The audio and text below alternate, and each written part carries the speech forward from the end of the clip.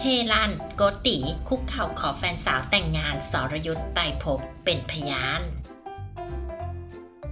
ถือว่าเป็นอีกหนึ่งข่าวดีในวงการบันเทิงเลยละค่ะ เมื่อโกติอารามบอยคุกเข่าขอแฟนสาวกวางแต่งงานท่ามกลางสักขีพยานอย่างสรยุทธ์สุทัศนจินดา ต่อยไต่ภพและออกกิรติดที่ไปยืนเคียงข้างให้กำลังใจ โดยทีมงานรายการ Today Show นั้นก็ได้โพสต์คลิปวิดีโอโมเมนต์ดีๆ นี้ เผยให้เห็นว่าโกตีนั้นคุกเข่า ถือช่อดอกไม้และก็มีพี่ๆ ในวงการบันเทิงเคียงข้าง เอ่ยความในใจขอแฟนสาวแต่งงาน ซึ่งกวางนั้นก็ซึ้งจนน้ำตาคลอ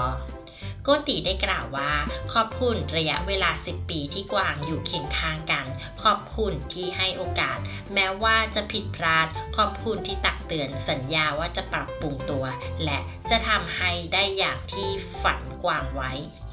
แต่งงานกันครับ ก่อนที่แฟนสาวจะเอ่ยคำว่า ค่ะ พร้อมเสียงกรี๊ดเกลียวกราวรอพร้อมส่งเลยล่ะค่ะ